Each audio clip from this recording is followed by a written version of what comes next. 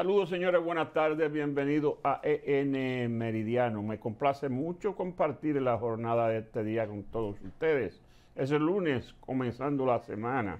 Lunes 20, 20 de mayo, año 2024. Aquí estamos como cada mediodía en compañía de Edmundo, Ledesma y Guerra. Don Freddy, ¿todo bien? Bien. ¿Perdió o ganó? ¿Yo? No, ganó el país, votó por Luis Abinader. El, el país decidió. Eso no es asunto de perder o ganar. Entonces, entonces yo diría que ganó el país. Bueno, depende. Depende. Si él se reivindica en estos cuatro años, entonces ganó el país. Si no, perdió. Porque en, sus primeros cuatro años, yo no vi que el país haya ganado nada.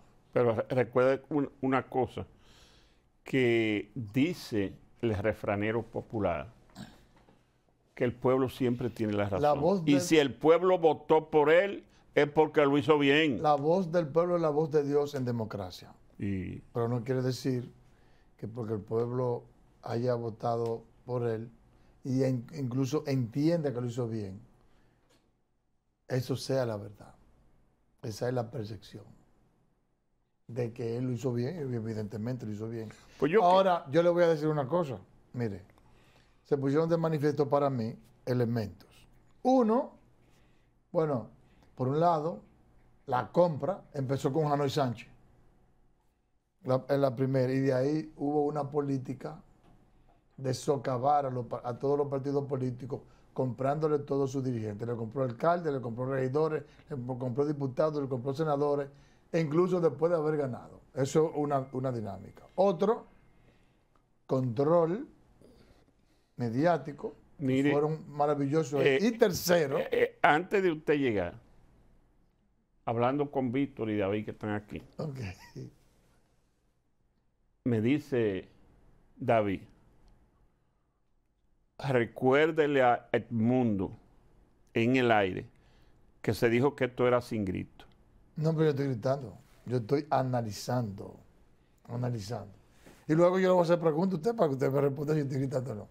La- el tercer elemento fue la compra de la dignidad de los pobres, regalándole de- electrodomésticos. Es que eso lo hacen todos los los sí. políticos del mundo. El detalle de Don Freddy, el detalle de Don Freddy, que, que ha, ha habido una degradación del sistema de partido, una degradación de eh, la institucionalidad democrática y ha habido una degradación de las finanzas públicas. Mi- mire, Entonces yo espero, yo espero que ahora que el país le dio cuatro años más, él se reivindique y prometa lo que cumplió en el, 2000 en el 2020 y que ahora en el 24, ayer que lo volvió a, a- a prometer, que ahora sí lo cumpla. Entonces yo voy a sentirme en el 28 contento de que el, de que el país votó por él. mire, yo eh, me tocó esta mañana compartir una entrevista con el expresidente de Costa Rica, Guillermo Solís. Y justamente le preguntaba, ¿cómo usted vio el proceso? Él- vino encabezando un- una comisión de observadores de la COPAL. ¿Cómo usted vio el proceso? ¿Qué usted vio? Y mire cómo comenzó la historia. Dice, qué pregunta más interesante porque yo tengo 11 años viniendo todos los años al país y esta es la cuarta vez que vengo como observador de eventos electorales. A mí me gusta la República Dominicana porque República Dominicana es un país donde la democracia se ha fortalecido. Y una muestra de ¿Usted ello eso? fue lo que yo vi justamente en esta jornada que estoy eh, eh, agotando. Una, un órgano electoral fuerte, eh, organizado, capaz de programar un evento electoral con la altura del que se hizo. Y la República Dominicana, yo he visto desde que tenía poco edificio y le he visto crecer. No, y, pero yo, y yo conozco el país de Cabo a Rayo, mencionó Samaná, Puerto Plata, Barahona, eh, Bahía de las Águilas, Punta Cana, Cap Cana. Dice, yo me conozco el país, lo disfruto porque lo he visto crecer. Entonces, esa es la visión de un hombre que no es dominicano, pero que le da seguimiento a lo que ha sido el desarrollo del país. Entonces yo quiero partir de ahí para hacer una reflexión sobre el evento de ayer. Pienso que debo comenzarlo felicitando a la Junta Central Electoral, que fue el órgano que organizó el evento y lo hizo bien. Bien con alguna falencia, pero en sentido general bien. Esas falencias son la denuncia de compra de cédula, la Cruz Roja puso una carpa, que ese tipo de cosas que se ha dado siempre. Y eso tiene verdades y mentiras. Porque yo aprendí con un presidente de la Junta Central Electoral que las cédulas no se compran, se compra el voto. Y sin embargo, ellos están comprando cédulas. ¿eh? Y él tiene ah, una tesis de por qué. Entonces pasó eso, pero que es algo normal en un proceso aquí en República Dominicana. Por ello felicito a la Junta Central Electoral. Felicito al ganador, presidente Luis Abinader, que buscó su reelección y la obtuvo. Organizó su partido, hicieron su trabajo. Mucha gente dice que atropellaron gente, incluso a, a su propio dirigente, como fue el caso de Faride. En fin, pero él obtuvo la aprobación del pueblo dominicano de otro periodo constitucional. Entonces, felicidades también a Luis Abinader Felicidades al Partido Revolucionario Moderno que hizo su trabajo. Pero hay que felicitar también al que ocupó el segundo lugar,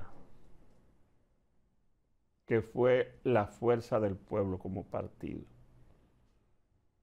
Que todas las encuestas lo daban entre 20 y 25%, iba a sacar más de 30% uno de los partidos más jóvenes, pero que más ha crecido.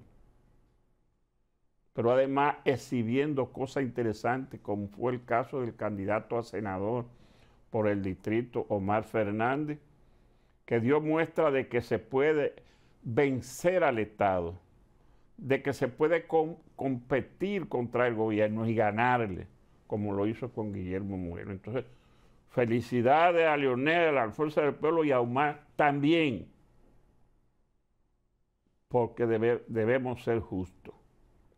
Si el PRM consiguió 29 de los 32 eh, senadores, ellos hicieron su trabajo. Si consiguió más de 130 diputados de 190, fue porque hicieron su trabajo y el que estudia y hace la tarea pasa. Eso dicen en mi campo.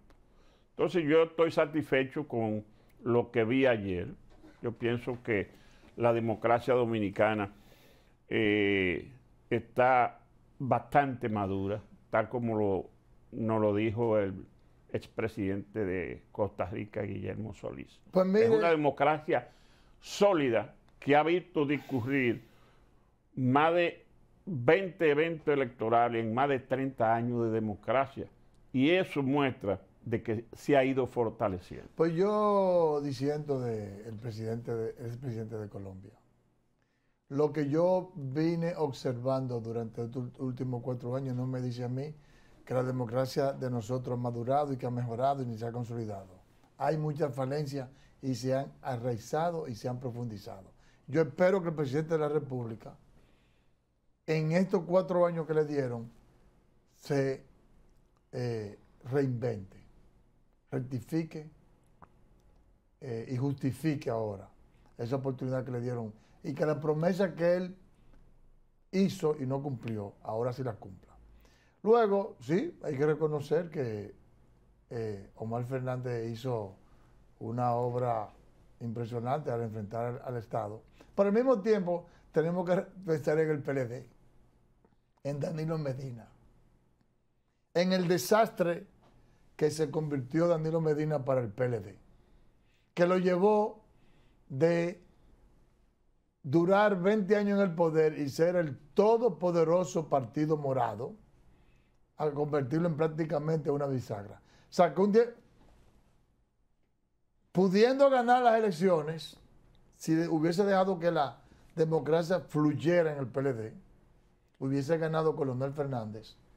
Hizo que Colonel Fernández se fuera, dividió el partido y de tener un 50 y pico, de ganar con 60 y pico por ciento en el 2016, bajó de 62 a 35 por ciento. Y en menos de cuatro años baja de 35 por ciento a 4 por ciento. Y Leonel Fernández, a quien ellos echaron, en cuatro años sacó un 4 por ciento y ellos bajaron a 10. Porque todas las decisiones que tomaron fueron llenas de absurdo, de ego, de prepotencia. Y ahora en el proceso de negociación para buscar una alianza, lo hicieron mal de nuevo. Porque ¿qué carajo hace Cristina Lizardo como candidata? Cuando el que, cuando el que marcaba era Rubén Maldonado. ¿Qué hace, eh, eh, ¿cómo se llama el candidato del, del PLD en Santiago? Collante. Marino Collante. ¿Qué hace ahí? Un hombre que, yo no siento lo que tenía, que, ni hablar podía. ¿Por qué no está fulano? ¿Por qué tuvo la fuerza del pueblo que poner a, Julio Romero? Porque boicoteó las negociaciones. Y luego, ahora que faltaba, cuando ya están presos, después que lo barrieron en febrero, entonces él viene ya está. Pero ya están listos, ya no hay nada que hacer. Entonces, ahora, cuando ya están listos, que todo el mundo sabe lo que va a pasar, que no hay posibilidades, entonces dura un mes y medio allantando, de que preocupado por el PLD, cuando él fue que lo llevó a donde está. Y el PLD sacó un día ahora. No dude que en las próximas elecciones saquen menos de un 5%. Va a perder la personalidad jurídica porque, que quede claro, el PLD perdió, pero la hemorragia no ha terminado por la inconsecuencia de Danilo Medina, de Abel Martínez y de otros, que ni siquiera trabajaron. Porque usted ha visto el término que. Mire, yo estoy de acuerdo con usted en, en, la parte donde usted se refiere a que el PLD está recorriendo el mismo camino que recorrió el Partido Reformista hasta extinguirse el mismo camino que ha recorrido el PRD y está en vía de extinción. Así va a quedar el PLD en manos de quien es su presidente. Si él no se sale de ahí y le entrega eso a, los jóvenes políticos que tiene ese partido, que tiene mucho y valioso, el PLD va a correr la misma suerte. Mire, eh, mundo, yo quiero que terminemos este segmento de en Meridiano con el discurso que pronunció anoche el presidente de la Junta Central Electoral, el licenciado Román Jaque Liranzo, en ocasión de anunciar el cierre del evento y el inicio del primer boletín. Un discurso que me lució interesante y para beneficio de nuestro televidente yo quiero compartirlo con ellos. ¿Qué le pues parece? Perfecto, perfecto. David, eh, al joven que nos ponga el discurso de el presidente de la Junta Central Electoral. Gracias por permanecer en esta jornada que inició a las 7 de la mañana del día de hoy, domingo 18 de febrero. Por favor, ocupen sus asientos. Gracias. Estamos transmitiendo esta actividad a través de nuestros canales digitales institucionales. Inmediatamente vamos a llamar al presidente de la Junta Central Electoral, el magistrado Román Jaques.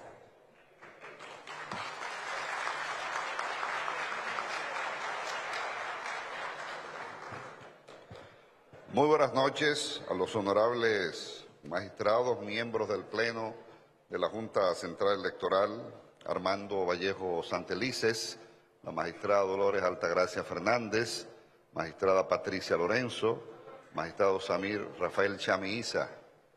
Muy buenas noches a los distinguidos observadores internacionales, a los delegados técnicos, políticos y suplentes acreditados ante esta Junta Central Electoral, invitados especiales, miembros de la prensa. La Junta Central Electoral Luego del desarrollo de las elecciones municipales realizadas el día de hoy, destaca la participación y el ejemplo cívico y democrático del pueblo dominicano, demostrado hoy en los 16.851 colegios, ejerciendo de manera ordenada, fluida y pacífica su derecho al sufragio. Igualmente resaltamos Bueno, justamente no pudimos ponerle el discurso del presidente de la Junta Central Electoral, el que correspondía, pero en esta oportunidad yo quiero referirme a otro discurso que ocurrió anoche. El del presidente de la Junta Central Electoral fue a las 8 cuando el presidente presentó el primer boletín. Más adelante, a las 9, el candidato ganador, que ya se perfilaba por los números que venían cayendo, que fue el candidato presidencial del Partido Revolucionario Moderno, pronunció un discurso interesante, porque tal como dice mi compañero Mundo, él se refirió a lo que le espera y lo que él espera hacer en esa, en esa jornada del periodo constitucional. Ciertamente, eh, el presidente durante los primeros cuatro años completó varias obras que encontró a medio hacer del anterior gobierno. Inició otras que no pudo terminar, como es el caso de la extensión del metro de Santo Domingo a Torosal Carrizo. Entonces, vamos a esperar que esas obras que él comenzó, que no están terminadas, se cumplan y que él cumpla, como lo prometió, con las reformas que él ha prometido hacer, la FICAR, la reforma de la Constitución, para ponerle candado, como él mismo dice, y para convertir el Ministerio Público en un ministerio independiente. ¿Qué usted cree, Mundo? Vamos a ver lo que él dijo, don Freddy, después teorizamos. Los ministros y los alcaldes pasan, pero ustedes, los ciudadanos, permanecen. Y con esta convicción Llegué hace cuatro años a la presidencia y cada día lo he tenido más claro. Lo más importante son ustedes, los ciudadanos de nuestro país.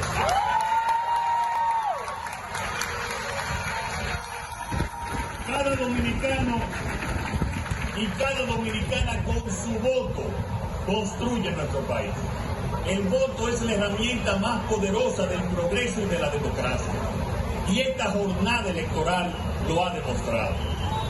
Bueno, ahí está parte del discurso del presidente que duró unos 10 minutos. Mire, don Freddy, usted de casualidad... Felicitar al personal que tenemos aquí, ahí en la dirección. Mire, don Freddy, usted vio el artículo que publicó Ocal Medina esta mañana. No, no, no. En Diario Libre, que se llama Un día después. Bien. ¿Qué pasa? Precisamente Ocar Medina habla de que el país tiene muchos desafíos por delante. Él habla ahí de que hay una presión fiscal de apenas un 15%, que es insuficiente para que el Estado dominicano pueda cumplir sus compromisos. Eh, y de manera muy particular que pueda hacer las inversiones de capital que se necesitan. Habla de la necesidad de la reforma fiscal, habla de la necesidad de enfrentar el tema eléctrico, revisar el pacto eléctrico que no ha dado para nada, habla de la necesidad del tema de la educación, de la seguridad social, del el código de trabajo, entre otras reformas que son necesarias. Entonces, ¿qué es lo que yo digo? Yo veo todas esas reformas que están latentes, que anteriormente se estuvieron hablando de ellas, y no hay ningún avance en ese sentido, es todo lo contrario. Si usted le hace una revisión, por ejemplo, a el manejo de la finanza pública ha sido deficiente. Si usted ve lo que ha pasado con el sistema eléctrico, ha sido un desastre. Si usted ve lo que ha pasado con el sistema de educación, ha sido un desastre. Y es un gran desafío modificar el código laboral, el código y, la, y la ley de seguridad social para que haya un sistema, para que haya una serie de reformas que propendan a promover el crecimiento económico sostenible, a promover el desarrollo y el progreso, a promover la inclusión social. Y toda esa reforma hay que hacerla no en adelante. E incluso, de alguna manera, se ha deteriorado, se ha deteriorado, eh, digamos, la eficiencia del manejo de las finanzas públicas. La inversión prudente, la correlación que debe de haber entre inversión de capital eh, y el gasto corriente. Por eso, yo ciertamente no estoy, yo estoy un tanto decepcionado. Por el mismo tiempo, estoy optimista en que el presidente de la República, en esta ocasión, en estos cuatro años, se va a reivindicar y va a enderezar las cosas que se han estado haciendo mal, que no voy a volver a repetir porque ya lo hablamos en el primer bloque. Y él va ahora de manera decidida a impulsar todas esas reformas.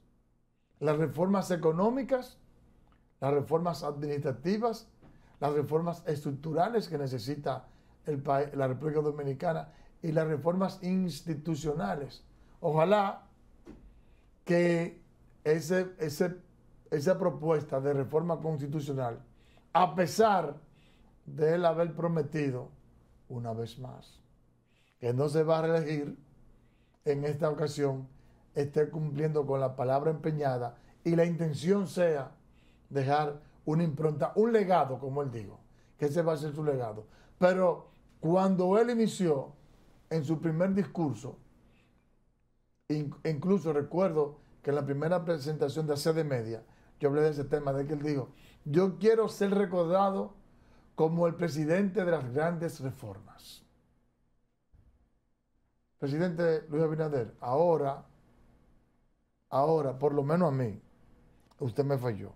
Yo espero que ahora no me falle ni a mí, pero que a mí no le falle el pueblo dominicano y cumpla con esas promesas que usted hizo, que son las, van a ser el gran cambio que necesita la República Dominicana, que hasta el momento no ha habido cambio. Yo, yo tengo, reserva yo, tengo mi aprensión con relación a ese planteamiento que usted hace y que hace el presidente Luis Abinader. Porque él promete hacer la reforma que hay que hacer sin temores.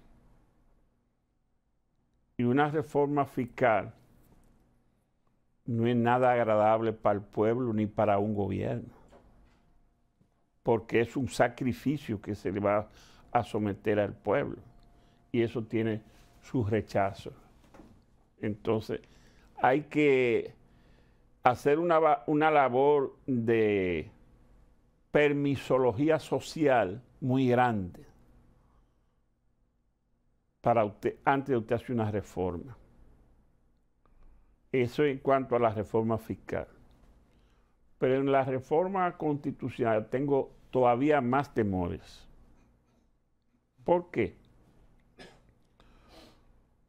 porque cuando se hizo la reforma del 10 de la Constitución, el presidente Luis Abinader anunciaba que una constitución blindada para evitar que los políticos de turno en el gobierno la utilizaran para reelegirse, aunque no estuviera contemplado. Y efectivamente vino Danilo Medina y lo primero que hizo fue eso. Entonces no estaba blindada nada. Ni va a estar Entonces, blindada la otra. entonces el presidente Luis Abinader de ponerle candado para evitar eso mismo que decía Leonel. Y tengo temores con eso porque hacer la reforma constitucional conlleva habilitar a Danilo inmediatamente. Segundo, un ministerio público independiente con los problemas que eso ha creado en esos países de Centro, Centroamérica y, y Suramérica. Eso no tiene mamacita. Eso que usted está viendo es un ministerio público independiente en Perú, que ordena a la fiscal allanar el Palacio Nacional y después allanarle la casa al a la presidenta. Eso es una barbaridad. Sí, y- Entonces, eso el Ministerio Público ha creado más mal que bien en los países donde se ha hecho. Pero aparte de eso, don Freddy, usted dice, eso va a rehabilitar a Danilo Medina. A él también. A él también. La reforma que va a rehabilitar a Danilo Medina también lo rehabilita a él. ¿Mm?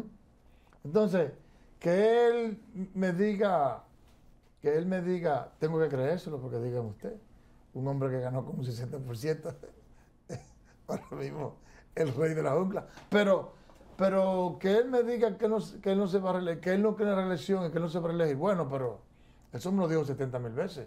Hay muchísimas grabaciones ahí. Entonces, que él no se va a rehabilitar si hay reforma constitucional que queda habilitado. También. Y luego vienen los lisonjeros. Pero lisonja con A. Los, viendo los lisonjeros a, a Ludones. A, a decir que él no hay nadie más para sustituirlo.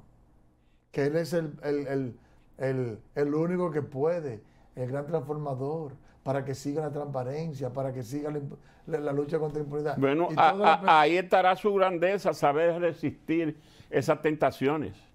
Ajá. ¿Sí? Bueno, está bien. Lo, lo único que es seguro que eso de que de poner candado y de blindar, eso no existe. Lo único que existe es la voluntad política para que no pase. Lo único que existe es la voluntad política para que nos- no pase, porque en el momento que le dé la gana, por ejemplo, ahora, ahora él puede en contra de la voluntad del país. El país entero puede decir, yo no quiero que haya reforma fiscal, digo, eh, reforma a la constitución, y como él ahora tiene control absoluto del Congreso, tiene ahora las dos terceras partes, eso sencillamente el H se acabó. Y luego se inventan cualquier argumento para justificar eso.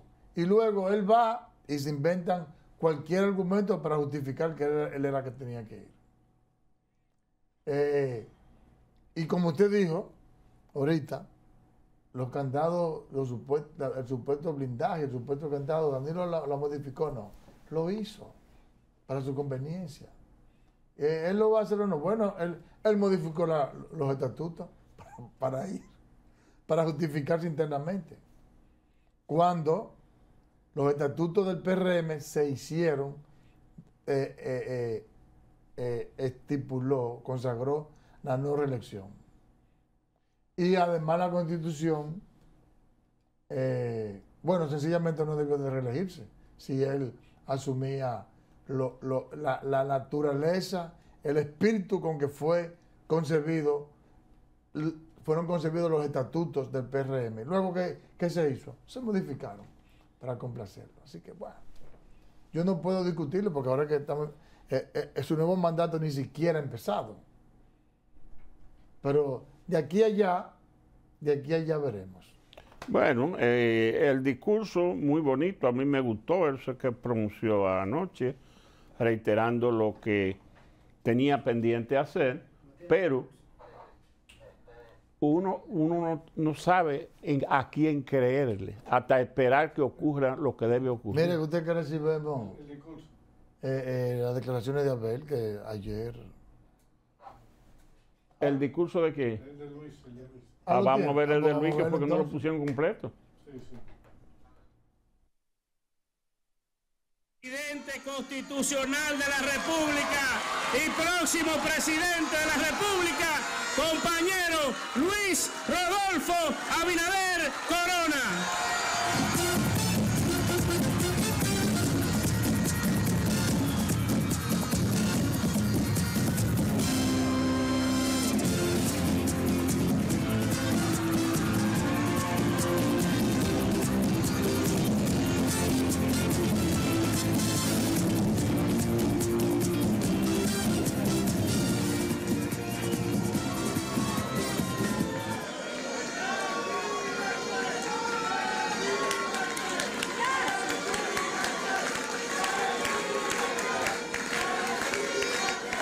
Queridos, queridos dominicanos, queridos dominicanos y dominicanas, gracias,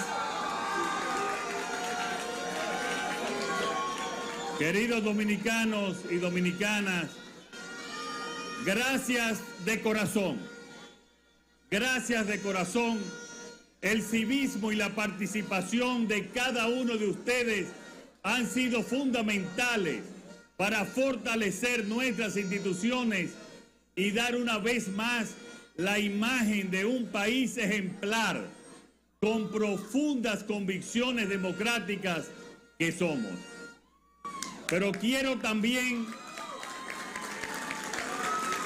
quiero también darle las gracias, quiero darle las gracias también aquellos dominicanos que compitieron por la candidatura, por la presidencia de la República. Acabo de recibir la llamada de Abel Martínez, con el que hace unos minutos mostró su compromiso con el país. Y me felicitó. También recibí la llamada del presidente Leonel Fernández, reconociendo nuestra victoria y felicitándonos. Y yo quiero que a ellos y a todos los que también los demás candidatos que compitieron con nosotros, que le demos un aplauso por la democracia de nuestro país.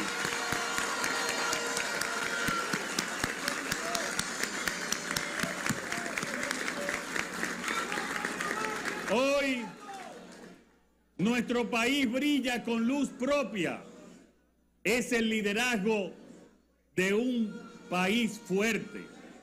La República Dominicana ha escrito hoy una página de avance democrático y los resultados hablan por sí solos. Con sinceridad y con humildad quiero decirles algo. El cargo más importante en la democracia dominicana no es el del presidente, es el del ciudadano.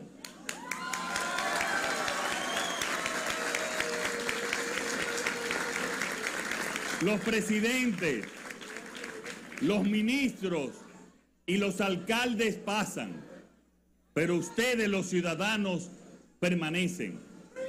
Y con esta convicción llegué hace cuatro años a la presidencia y cada día lo he tenido más claro. Lo más importante son ustedes, los ciudadanos de nuestro país.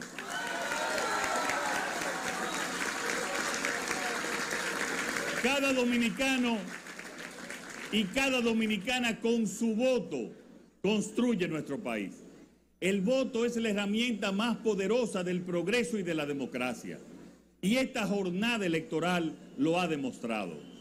El pueblo ha hablado con claridad. Los dominicanos y dominicanas quieren seguir profundizando el cambio. Lo demuestra en el hecho que hemos obtenido un mejor resultado electoral respecto al obtenido en el año 2020, con más apoyo popular y con más votos.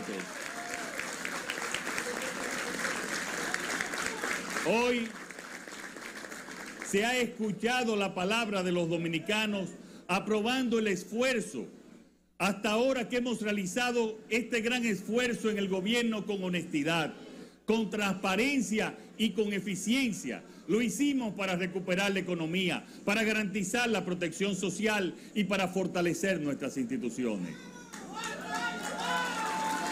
Asumo, asumo la confianza que he recibido y la obligación de no defraudarla. No les fallaré, no les fallaré.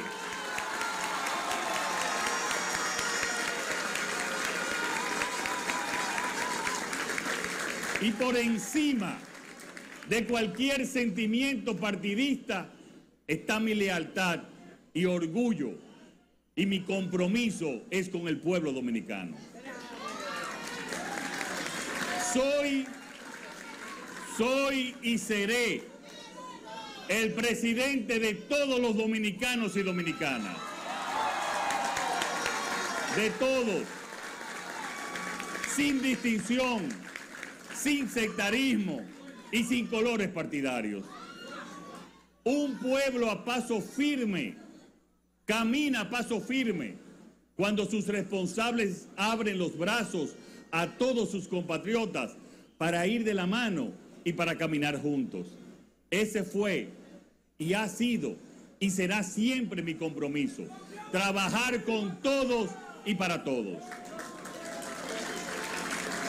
Amigas y amigos, hemos recorrido una parte del camino y ahora toca seguir profundizando los cambios y las reformas para seguir firmes en la línea del progreso y desarrollo que hemos emprendido. Desde hace tiempo venimos demostrando que se puede conseguir progreso con inclusión, crecimiento con solidaridad y justicia con independencia.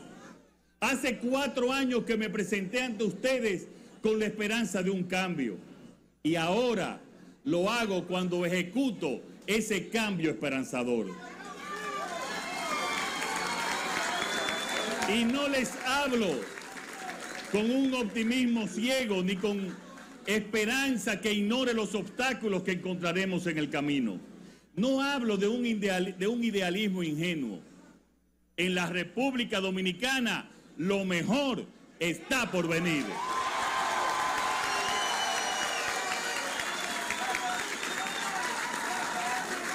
Y lo mejor, lo mejor está por venir porque tenemos porque tengo el valor de seguir intentándolo, de seguir trabajando y luchando con todas mis fuerzas, con la fuerza renovada que hoy ustedes nos han otorgado. La República Dominicana ha emitido hoy un voto de confianza, un voto de esperanza y con la mirada puesta en el futuro. El mensaje de las urnas es claro. Los cambios que hemos hecho van a ser irreversibles. No hay vuelta atrás. La República Dominicana ha cambiado y ha cambiado para siempre.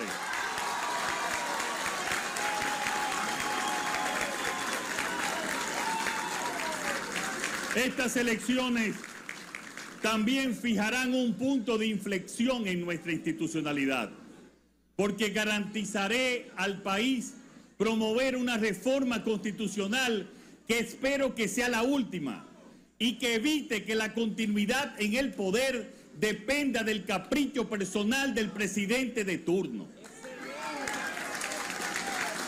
Esta victoria electoral, en mi caso, es la última, porque respetaré los límites en la Constitución en los términos de la reelección.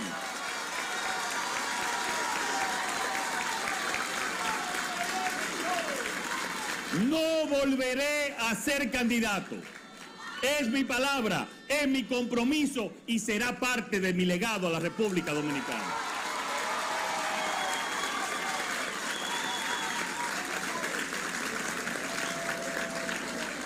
Hoy no es un día de llegada, es el primer día de un nuevo tiempo y un nuevo empuje para profundizar el cambio.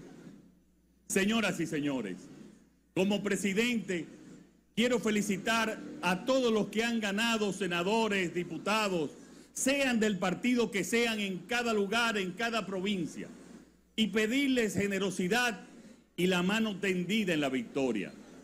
Tomemos ejemplo del pueblo dominicano que sabe convivir, que sabe entenderse y que sabe quererse. En democracia nadie lo gana ni lo pierde todo.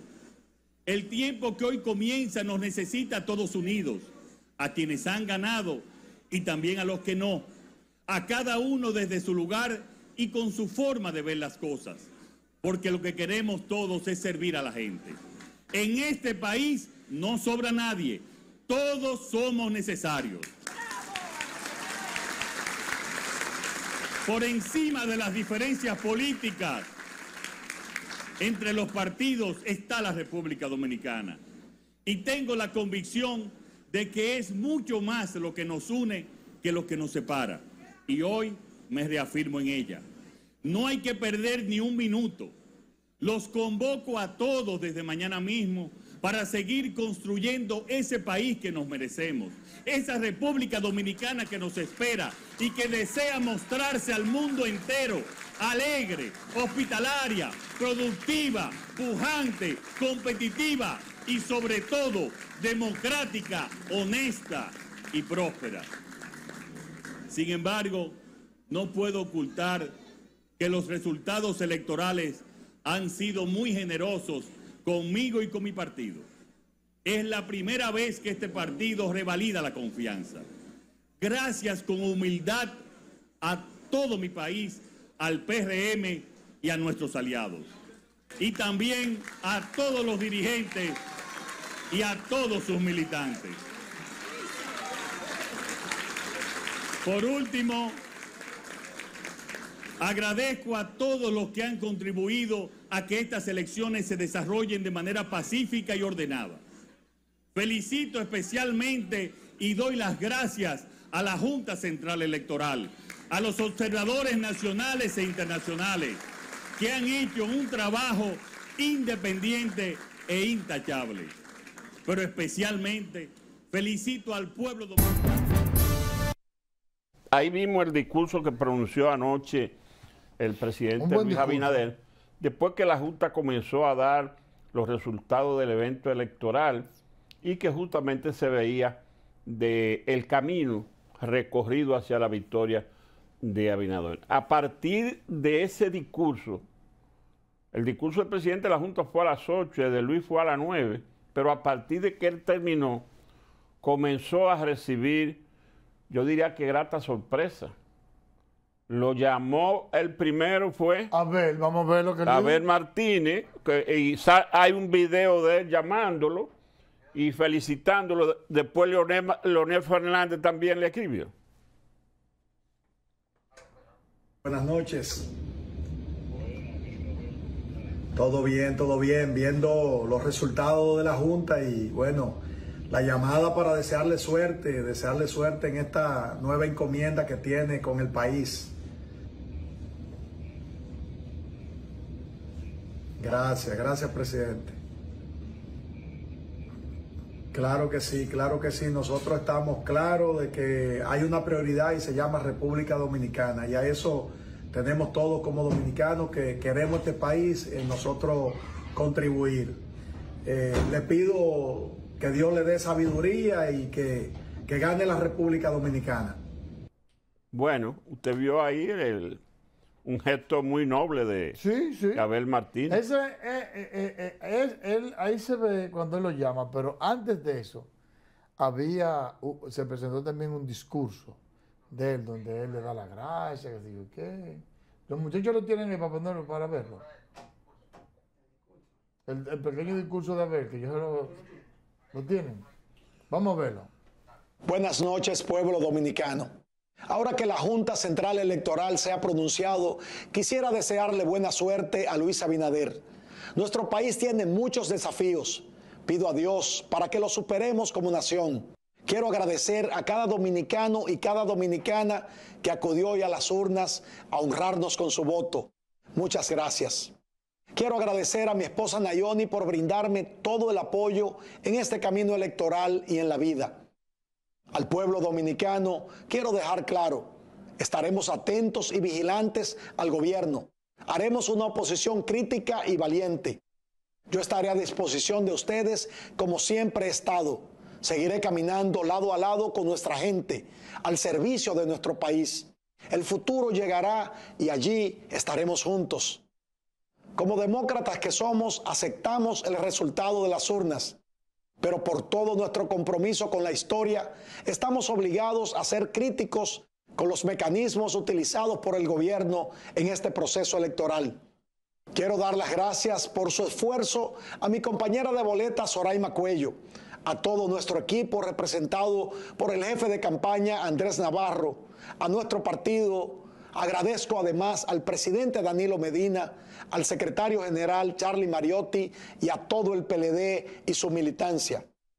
Estamos totalmente listos para desde la oposición ayudar a nuestro país a superar esta etapa. Sabemos que nuestra gente trabajadora y honrada merece un país mejor merece mejores empleos, merece alimentarse mejor, merece ser feliz. Una cosa pueden tener bien clara, no somos de los que se rinden ni de los que salen corriendo ante la dificultad.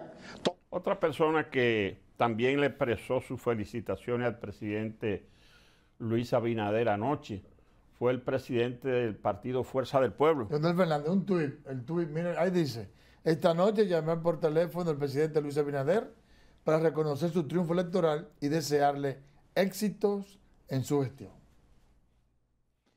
Bueno, perfecto. Sí, ahí está el liderazgo nacional. Eso, es democracia, eso es demostrando que es un demócrata. Don Freddy, ese discurso de Abel no lo preparó él ayer. No, lo tenía hecho. Ese discurso estaba hecho, posiblemente estaba grabado hace tiempo porque él sabía que estaba preso. Él no sabe improvisar. Él sabía que estaba preso. Así es. No, además, se nota que está leyendo. Se nos terminó el tiempo. Bueno, pues nada. Señores, gracias. Hasta mañana.